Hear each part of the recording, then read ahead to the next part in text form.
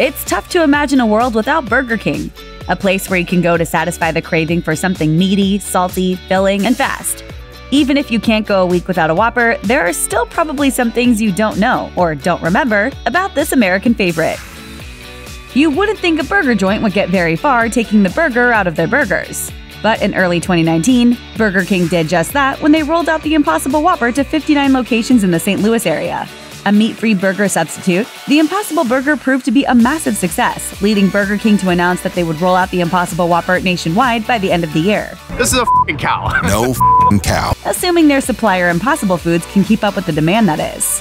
According to CNN, Burger King has more locations than all other clients of Impossible Foods combined. On May 22, 2019, Burger King launched one of their weirdest public relations stunts when they tweeted fans with this question Got student loans? What's your cash tag? They followed up the next day with another tweet that read For real though, we're trying to pay off those loans. Introducing Whopper Loans. Make a purchase through the BK app for a chance to have your student loans paid off. Burger King wants to eat up your student loans. Some critics felt dangling Whoppers as edible lottery tickets seemed a bit insensitive, given that college graduates were reportedly carrying around $1.5 trillion in debt at the time. But hey, if they didn't win, they'd still have a Whopper, so that's not so bad. Ever been sitting in traffic and thought, man, I wish I had a Whopper right now? Well, that's very specific, but it's also prophetic. Because in 2019, they announced the Traffic Jam Whopper. First tested in Mexico City, the Traffic Jam Whopper works like this. If you're stuck in traffic within 1.9 miles of a Burger King, you can call them and they'll send someone on a motorcycle to deliver it to your car. It sounds kind of dangerous, but according to Nation's Restaurant News, it increased their deliveries by 63%, which is why they plan on rolling it out to cities like Los Angeles in the future. When Burger King announced they were going to be selling those Impossible Whoppers, they did it on April Fool's Day in 2019. Everyone thought it was a hilarious joke. Is this a joke? What a joke. You leaving me a note to meet you at a Burger King? But the funny part is that the announcement was actually true. That's just how next level Burger King has gotten with their April Fool's Day pranks. Way back in 1998, the company set a new bar when they announced the left handed Whopper, which was supposedly designed to be held in the left hand with ingredients balanced to keep from spilling out the side. In the years since, they've also done a chocolate Whopper and Whopper flavored toothpaste. But the best might be yet to come. They teamed up with the Clio Awards to sponsor a student April Fool's prank contest. Nice.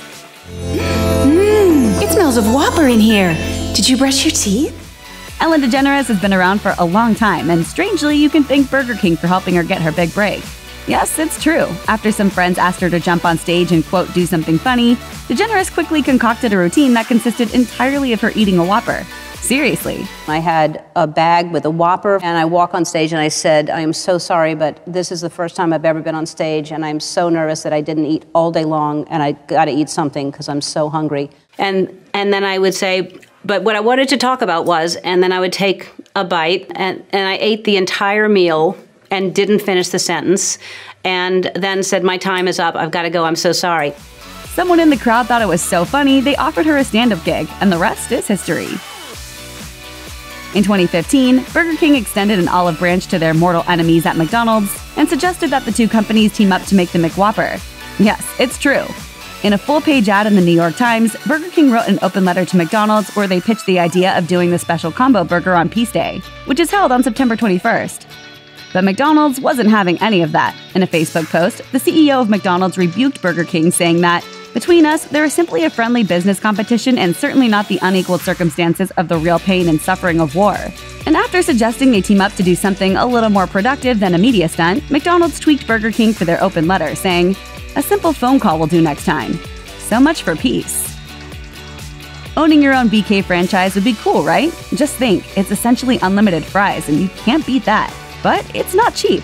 Not only does Burger King require franchisees to pay a $50,000 upfront fee to the company, but they then have to shoulder all of the startup costs. Depending on the situation, that could be well above $500,000. And that's probably why they require all new franchisees to have that $500,000 available to them in liquid assets, and a complete worth of at least $1.5 million. On second thought, it's probably easier and more cost efficient to just order some fries through the app. Check out one of our newest videos right here. Plus, even more Mashed videos about your favorite stuff are coming soon. Subscribe to our YouTube channel and hit the bell so you don't miss a single one.